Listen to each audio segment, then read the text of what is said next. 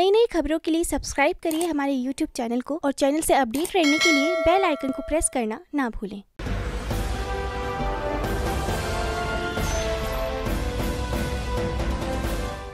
नमस्कार, आप देख रहे हैं हिंदुस्तान में आपके साथ वंशिका पांडे। रूस और यूक्रेन के बीच युद्ध छिड़ा हुआ है। लगातार यूक्रेन के हालात बिगड़ते जा रहे हैं और वहीं इसी बीच मध्य प्रदेश के एक लड़के ने रूस की धरती पर भारत का तिरंगा लहराया। बता दें कि खारकेव बॉर्डर से 740 किलोमीटर दूर रूस की राजधानी मास्को में विश्व खेल में भारत का नेतृत्व कर गोल्ड मेडल जीता और 22 साल के इस गोल्डन बॉय ने इंटरनेशनल लेवल पर ये तीसरा गोल्ड मेडल जीता है। आई देखते जुड़ी खास रिपोर्ट। आपको बता दें कि रूस की राजधानी पर भारत का तिरंगा लहराने वाले इस 22 साल के लड़के ने अब तक 12 मेडल हासिल कर चुका है। और वहीं उनकी नज़र अब एशियाड गेम्स पर है। ऑटो ड्राइवर पिता के बेटे का इंटरनेशनल खिलाड़ी बनने तक का सफ़र आसान नहीं रहा, ना ही सुविधाएँ थी और ना ही पैसे।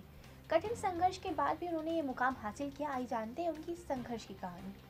गुना के रोहित यादव भार्गव कॉलोनी में रहते हैं। उनकी बचपन से ही खेल में रुचि थी। पिता सुनील यादव सेना में जाना चाहते थे, लेकिन परिस्थितियों के कारण उनका सपना अधूरा रह गया। ये सपना उन्होंने अपने बेटे में जिया और घर चलाने के लिए वो ऑटो चलाने लगे। बच्चों को प्राइवेट स्कूल में पढ़ाया और बेटा रोहित जब आठवीं में था, तब स्कूल में वुशु सिखाने के लिए कोच आए। यही उसकी ज़िंदगी का टर्निंग पॉइंट रहा और रोहित ने भी वुशु खेलना शुरू किया।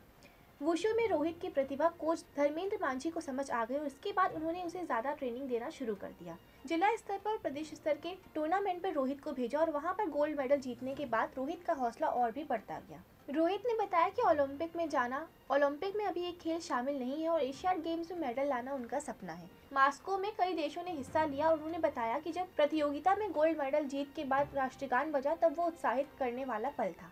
अब एशियाड गेम्स की ट्रेनिंग के लिए वो नागालैंड भी जाएँगे। वहीं रोहित के पिता सुनील जाधव ने बताया कि उनका बचपन से सपना था कि वो सेना में जाए, लेकिन परिवार की स्थिति और जिम्मेदारियों के कारण वो पूरा नहीं हो सका।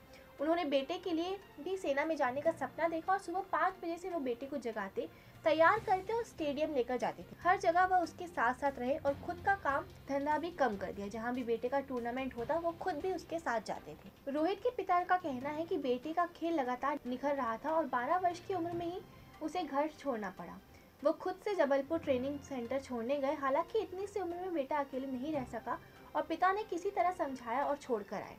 जितने भी टूर्नामेंट में बेटा गया, उस पिता उसके साथ है और अब बेटे का चयन सेना में भी हो गया और पिता और बेटे दोनों का सपना पूरा हो चुका है। तो ये थी बुल हिंदुस्तान की खास रिपोर्ट। ऐसी खबरों के लिए बनी रही बुल हिंदुस्तान के साथ।